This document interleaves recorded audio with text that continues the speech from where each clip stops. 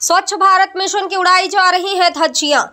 जिस और देश के प्रधानमंत्री और सूबे के मुख्यमंत्री योगी आदित्यनाथ द्वारा स्वच्छ भारत अभियान को लेकर लगातार प्रयास किए जा रहे हैं, योगी आदित्यनाथ की आकांक्षी मनसाओं को उत्तर प्रदेश के जनपद महोबा में जिम्मेदार अधिकारियों के द्वारा उनकी मंशा पर पतीला लगाया जा रहा है। एक और केंद्र और राज्य स्वच्छता के नाम पर लाखों रुपए खर्च कर रही है। कई योजनाओं के द्वारा शौचालय निर्माण, नाली निर्माण और साफ़ सफ़ाई के कार्यों में करोड़ों की धनराशि खर्च हुई।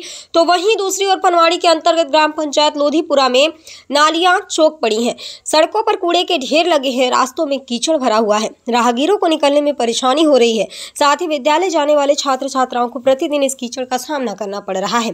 ग्रामीणों द्वारा कई बार ग्राम प्रधान को अवगत कराया गया। ग्राम प्रधान द्वारा ग्रामीण की समस्याओं को लगातार नजरअंदाज किया जा रहा है जिससे समस्या जस की तस बनी हुई है।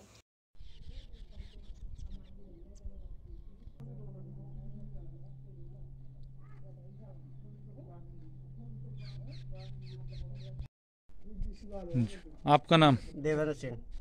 निवासी? लोधीपुरा। क्या समस्या है आपकी? समस्या ये है कि नल सदा नहीं रहा है एक और दो महीना हो गए पानी की समस्या है दो पूरा पूरा परेशान है।